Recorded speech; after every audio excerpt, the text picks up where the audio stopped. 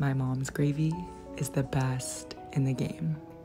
And if there's one thing I recommend making from scratch, it's this. Simmer the turkey neck and giblets to create a flavorful broth.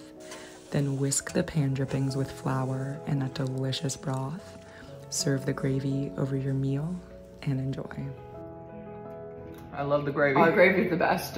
it's so good. It really is.